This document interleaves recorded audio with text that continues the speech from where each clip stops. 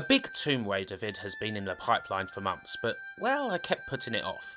It is a pretty frickin' big project after all. There's like 10 games to cover, most of them frightfully similar to each other. And there's just one big character at the heart of it all Lara Croft. Love her or hate her, she is kind of a big deal, and if this series does nothing else, it will provide a nice look at just how Lara Croft has evolved through the years. I mean, she's never exactly been a perfect character, but she is one of the most important characters in the history of video games. Despite being surrounded by the 32-bit era, perhaps the least well-remembered time in all of retro gaming. I mean, you know the complaints, don't you?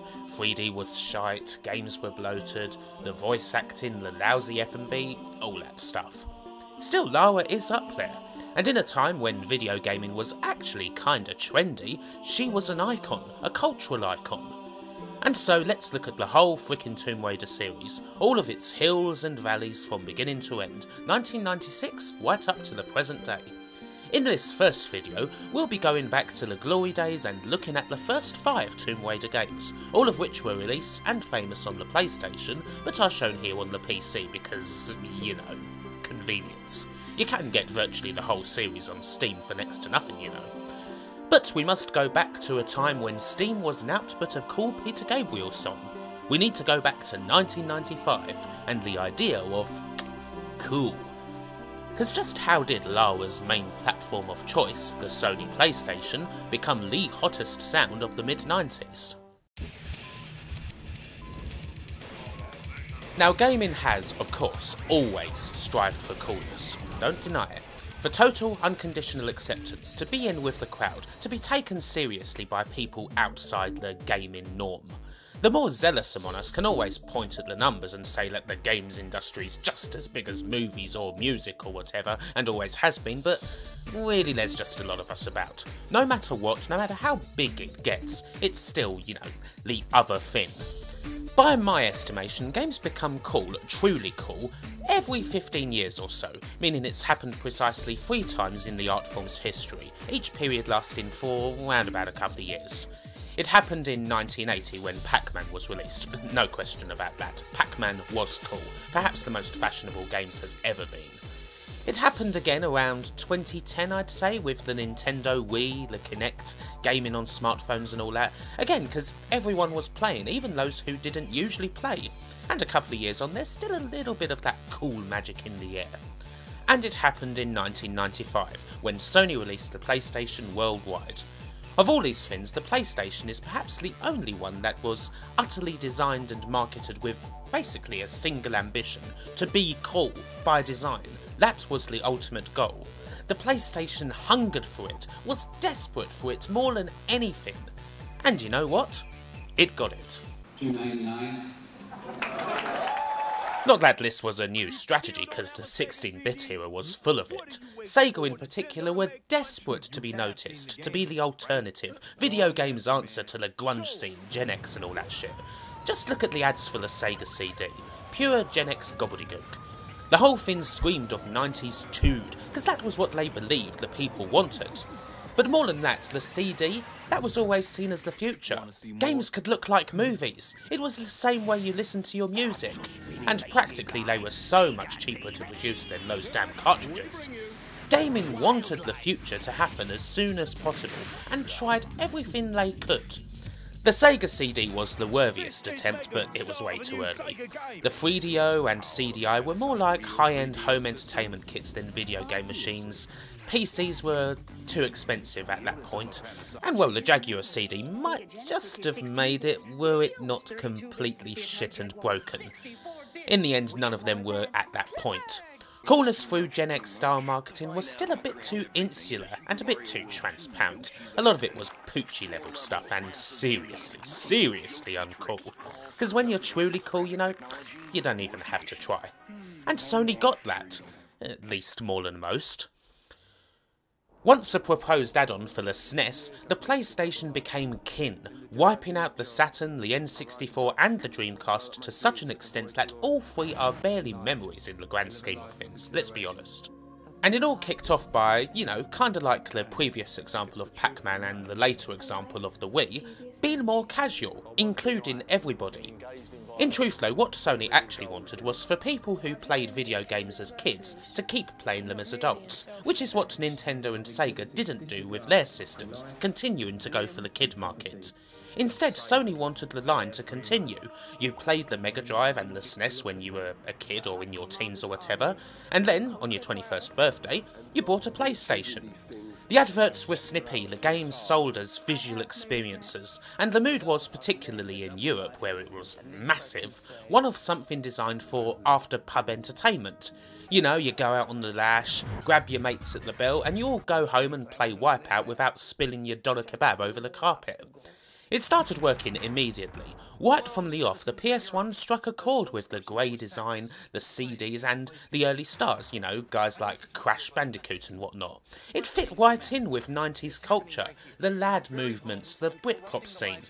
But you know what? A real icon was needed, and it didn't quite have that yet, but it would soon come. Because, you know, over the years, the status of video games' biggest icon has been taken by, what, a half eaten pizza, a cartoonish Italian plumber, a big eyed elf, and a spiky blue hedgehog. So, what would be the next up to the plate? A woman. With no pointy ears, no wacky sound effects, no power ups, just a woman. A real woman and a real human being. Lara Croft.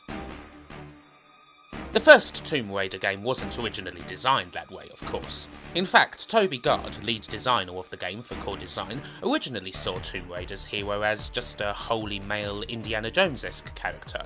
But as the game developed with more emphasis gradually placed on puzzling rather than action, the character developed from a male placeholder to a more gun-ho South American woman named Laura Cruz, and finally to an upper-class English woman named Lara Croft. It took quite some time, but that was the version of Lara presented to the world in October 1996, just around about the time that this was taking over the world. Girl power! and that was a stroke of luck, wasn't it? The rise of the Spice Girls and all that, yet another British invasion, meant that this game, on an already cool enough system, with a woman front and centre, yep, it was going to be a big deal you know, sometimes you just gotta be in the right place at the right time, and with Tomb Raider, that's what core design managed to do. It rode the zeitgeist like a demented Shaun White on a golden surfboard. Lara Croft became a worldwide megastar, and the PlayStation went further and further up into the stratosphere. Oh yeah, and the game was released on the Sega Saturn too, but frankly nobody gave a fuck about the Saturn. Speaking of the game, well, uh, how was it? Or rather, how is it? Because we've seen how Lara Croft came to be, but was it actually, you know, decent? Well, playing through this old PC version of the game, yes, it is decent. Unlike a lot of 3D platformers, Tomb Raider has aged very well. I've already gone on record as saying that I very much enjoy the rickety graphic style of a lot of old and primitive 3D games, you know, the incredibly high contrasts, the dirty low-res textures, items made purely out of polygons, so that part of Tomb Raider holds up for me. But the game still plays great too. Mainly because it was, in many ways, an evolution of the old cinematic platformer, Flashback, Another World and the like. Lara basically moves on a grid. You know how far each step's going to take you, how many you're going to need for a jump, and so on. So a lot of the time is spent taking in your surroundings. The camera is such that you're always going to think about distance, even on the biggest jumps. You know that you usually make it, but, you know, will you this time? And when you do make those big jumps, it's odd because it's always exciting, because there's always that doubt niggling in the back of your mind. The doubt that comes from being totally alone on this adventure, reliant entirely on your wits, knowing that the only way out is forward. The first Tomb Raider also works because of how much emphasis there is on puzzling. The title ain't no bullcrap. We're here and we're finding treasure. To do so, we're going to have to find keys and other objects, push blocks, take on serious jumping puzzles, and thumb through mazes. All that good shit. Combat is very much secondary, and is usually simply a case of auto-locking on and shooting a lot. It's kinda dull, and probably the worst thing about the game, nothing compared to the puzzles, the movement, and the atmosphere. It's perhaps like Prince of Persia most of all, only so much better. You can see a lot of the old walls, every level following directly on from the last one, for example, the usage of musical cues and sound effects rather than a constant soundtrack, and the focus on realistic momentum and movement. Tomb Raider wasn't the first attempt at making a cinematic platformer in 3D, but it was by far the best. Nothing even comes close to it. It deserves a high place in the pantheon as one of the most influential platformers ever made, and not just because of Lara Croft. Without Tomb Raider, would we have, say, the Prince of Persia reboot series? Assassin's Creed? Mirror's Edge? I could even stretch it and say that first person games like Half Life did take quite a few cues from Tomb Raider. In the giant slew of 3D platformers that came at the start of the 32-bit era, there were basically two games that showed the way forward and inspired others for years to come. One was Super Mario 64, and the other was this. And that's pretty freaking high praise, and utterly deserved to boot. But of course, you can't talk about Tomb Raider for too long before you have to bring the focus entirely on Lara because she's at the heart of it all, Louise reason for a lot of the success, a lot of the praise, and indeed a lot of the criticism. Because just what can you say about Lara Croft? Opinions on her are kinda mixed. Some have said that she's a feminist icon, others say that few characters are more sexist than Lara in the history of video games, and both sides are, in many ways, absolutely right. Now, I've seen it said that the titillation aspect of Lara Croft didn't come to the fore until the game's sequels. To be honest, that's not really the case. Tomb Raider has always been a killer to study from the male gaze perspective, even here. The camera loves her through every last cutscene, examining every inch of her body. Even in game you can see what the male eye is drawn towards the most. You judge the distance of jumps primarily through aiming Lara's ass at the platform. Listen to how Lara's actions are always paired with audible physical exertion every time she bumps into an object or pulls herself up from a ledge. When she's idle for a moment, she's visibly panting, her whole body moving.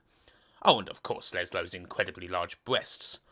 And also, there's the amount of detail that just went into every excellent animation, including several moves that aren't even necessary. I mean, do you need to perform a swan dive into the water? Do you need to perform an impromptu handstand when climbing a ledge? No, but hey, you know what? It looks cool. It shows off Core's fantastic animation. And it shows off Lara. Now, before you get your jock straps in a twist, don't worry. I'm not saying that this is directly and viciously sexist, or, to be honest, even all at one. It's kinda, I don't know, for lack of a better phrase, sexist by design. The male gaze is something natural, and it gets magnified in creation. You know, it's the idealised vision, the thing that makes any straight dude tick when they see a good looking woman walking down the street, the trigger that can turn literally anybody, even the most cack handed operator ever, into Federico Bloody Fellini when they're given a camera and a subject of the opposite gender. Just look at a similar platformer from the era, uh, Fade to Black.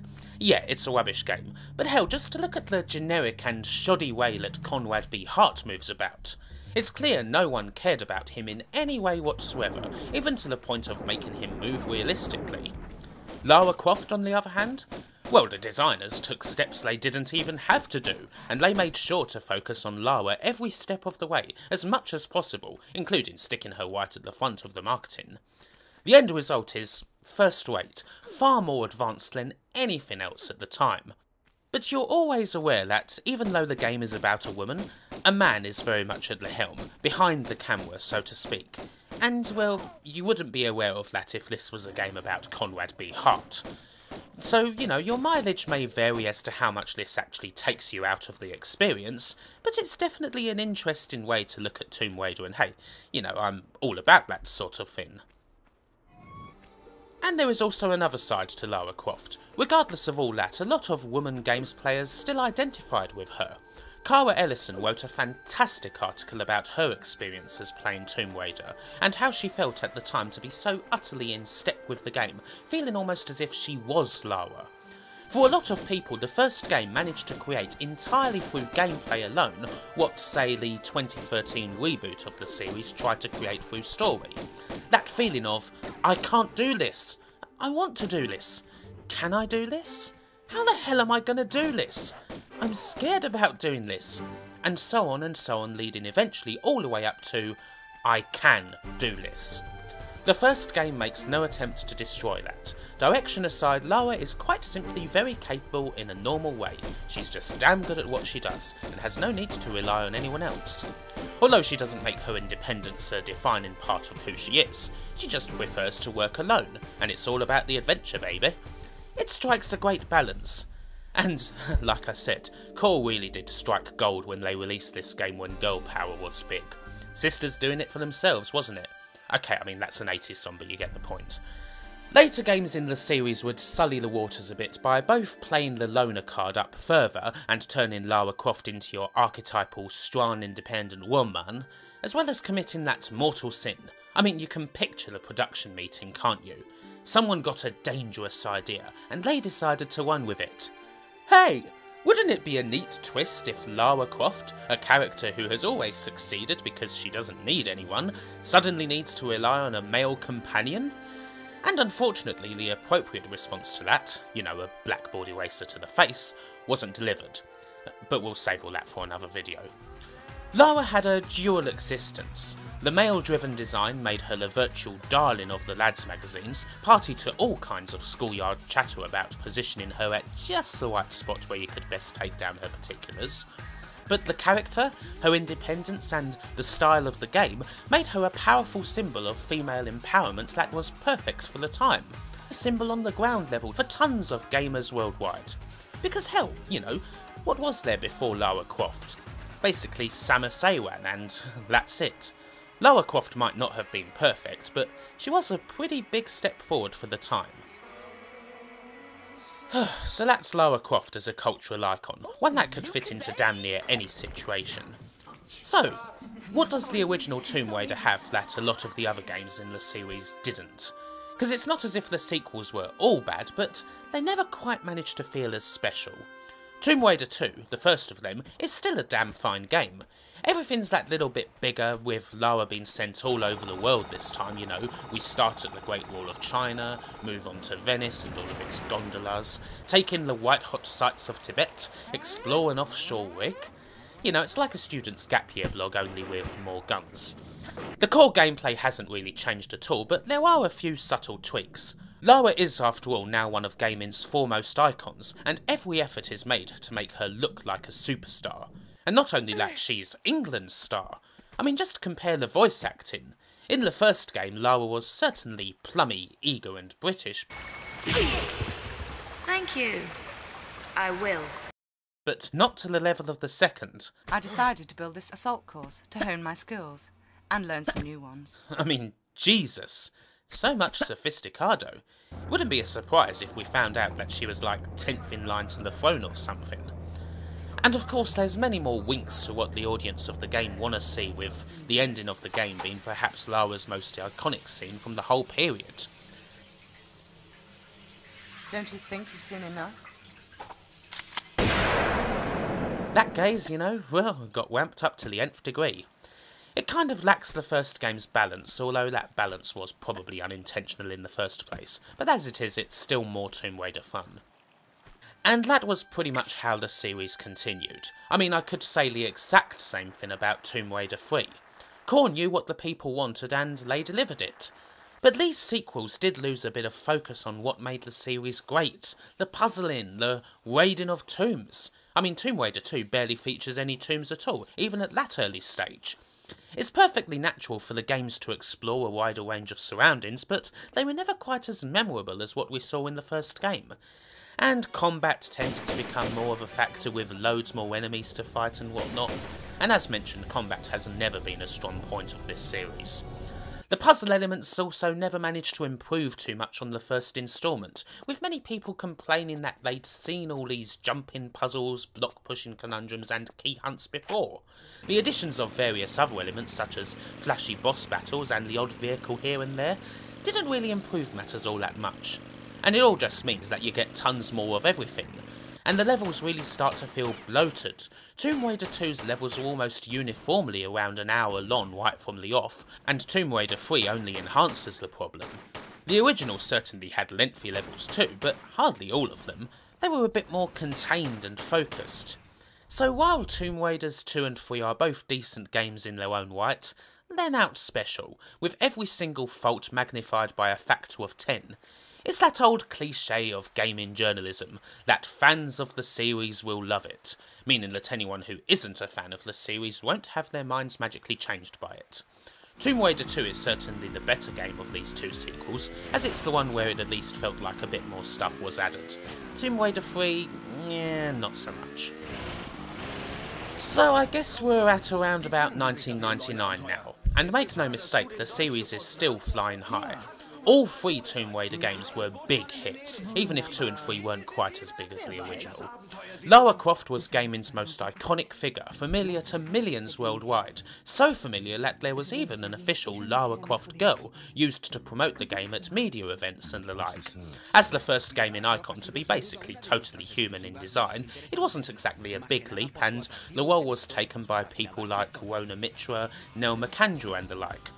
And so, guess what? We basically have Tomb Raider to thank for the whole idea of booth babes.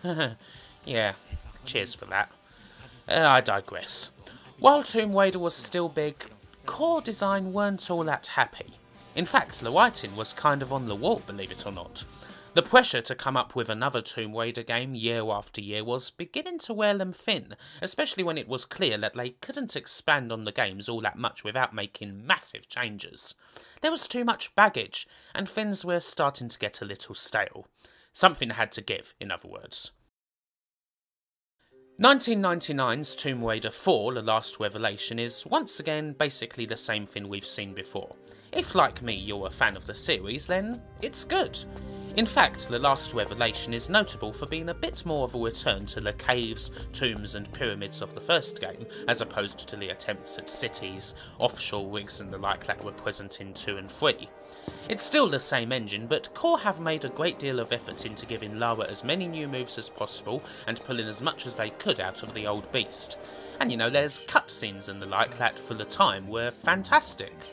The Last Revelation is easily the best game in the series since the original, no doubt about it.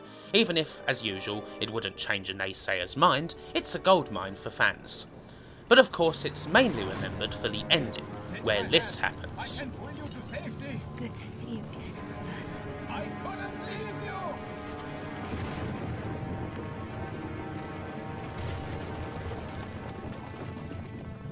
Shock! Horror! And yeah, they did. Core killed Lara off. She went down the well one too many times and finally came a quapper. It's kind of a shocking way to close the book on the first wave of Lara, really. But still, the light was turned off before things got really stale. Having said all of that, there was still a fifth game in 2000, believe it or not. However, Tomb Raider Chronicles was basically a little bit of an extra, a mission pack, an epilogue for the series. It wasn't marketed all that much and didn't sell particularly well, strictly for the fans only. And you know, it's not a bad late period PS1 title, but the general feeling was that by this time, shit had gotten pretty damn old. Old engine, old gameplay, old character. By the year 2000, the competition was far heftier. Cutesier games like the Spyro series and Sonic Adventure on the Dreamcast were doing well, and even on the more realistic front there were games like Siphon Filter and a well-loved series called Legacy of Kain, released by a little group known as Crystal Dynamics. Hmm, we'll be coming back to them later. And so, with the 32-bit era drawing to a close and the PS2 on the horizon, where was Lara going to fit in? Was she going to get lost in the shuffle? Would Lara Croft mania die down? On the contrary, it was just beginning. And so that ends the first part of our look back at Tomb Raider. Join us in part 2, when Lara will move from the console to the big screen. And the resulting success will lead to, what else? Another game. Yeah, Core Design decided to bring Lara Croft back to the home in 2003. And good lord do we all wish they hadn't bothered. But yes, we'll be going through Tomb Raider Angel of Darkness, as well as seeing what some other guys would be able to do with the erstwhile British Adventure Queen. A new day dawns with 2005's Tomb Raider Legend. That's all to come, but for now, it's time to end the video. Thanks for watching, and wherever you are, whoever you be, have a good one, take care, and I'll see you next time.